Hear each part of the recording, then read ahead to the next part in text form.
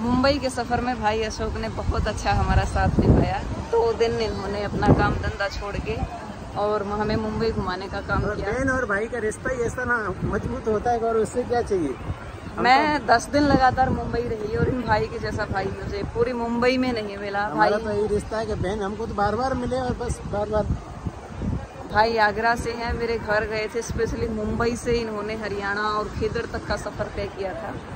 तो बहुत बहुत शुक्रिया भाई आपका। और जब भी हम मुंबई आएँगे, आगरा आएँगे यूपी जाएँगे तो आपको ज़रूर याद करेंगे। यदि आप भी घूमना चाह रहे हैं मुंबई तो एक बार भाई को बताइए। भाई आपको पूरी मुंबई घुमाएगा। ऐसा ऐसा दावा मैं करती हूँ। और यदि आपको ना कॉन्टैक्ट इनका मिले तो आप मुझसे संपर्क कीजिए। मैं बोलती हूँ इनको, रहने की, खाने की सब व्यवस्था आपकी करेगा।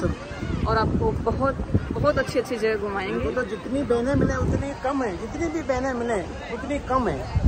जी तो मेरा मुंबई का एक्सपीरियंस पर्सनली बहुत अच्छा रहा।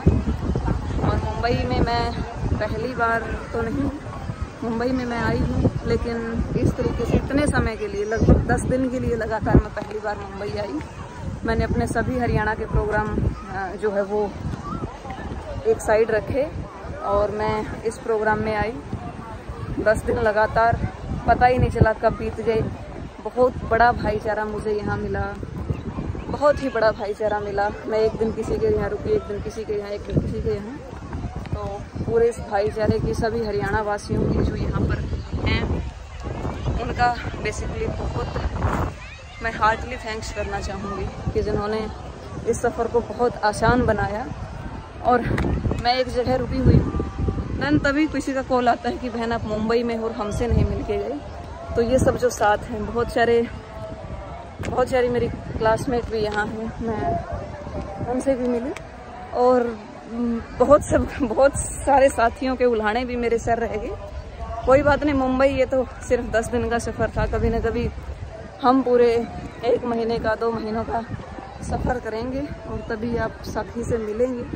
अभी तो भागते भागते मुंबई देखी है। एक दिन में तीन प्लेस जो है वो कवर किए हैं। कभी मुंबई को इतमान से देखेंगे। आप सभी साथियों की शिकायतें दूर करेंगे। आप सभी साथियों से ज़रूर मिलेंगे। और वीडियोज़ जितना मुझसे बन पाया मैंने बनाया क्योंकि हाजी अली का। भाई साहब हैं इनको वीडियो फ़ोटो बनाना इतना आता नहीं। मैं एक छोटी सी सेल्फी स्टिक के सारे वीडियो बना रही थी। कहीं कहीं जब मुझे कोई साथी ऐसा मिल जाता था इस सफ़र में तो मैं बोल भी देती थी कि भाई, आप वीडियो बनाइए। वो व्लॉगिंग हो नहीं पाई जिस तरीके से मैं करना चाह रही थी। लेकिन फिर भी बहुत अच्छा लगा। धन्यवाद मुंबई धन्यवाद मुंबई वासियों का all of you thanks to you and फिर मिलेंगे। बहुत सारी बातें करेंगे, सबकी शिकायतें दूर करेंगे। Thank you very much